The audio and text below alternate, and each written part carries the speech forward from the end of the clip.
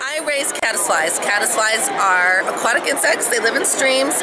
And what's unique about my caddisflies is I give them gemstones to build their cases with.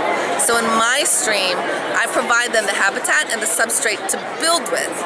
And so the jewelry that I create is made by the caddisflies that are creating it out of the gemstones.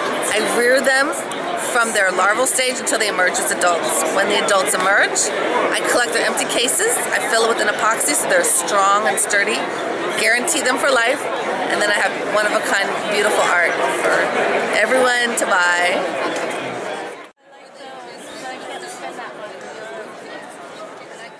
They're absolutely gorgeous, unique, and one of a kind. Because um, each caddisfly builds a unique case. Um, so they're really pretty, and you should definitely check them out. Streams with built of sticks instead of stones.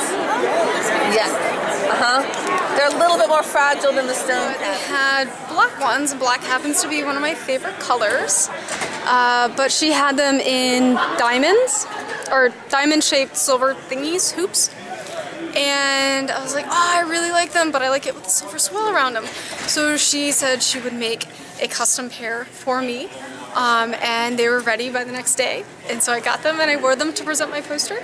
Um, so I was really excited that she made a custom pair of caddisfly case earrings for me.